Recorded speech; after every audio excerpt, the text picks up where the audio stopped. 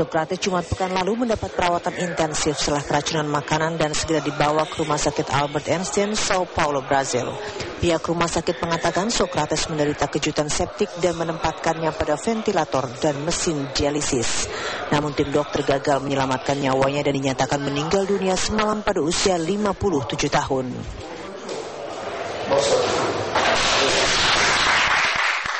Socrates dua kali menjalani operasi pada usus karena ketergantungan dirinya pada alkohol. Socrates pun berulang kali menyatakan gemar meminum alkohol sebelum bertanding dan tidak mempengaruhi performanya.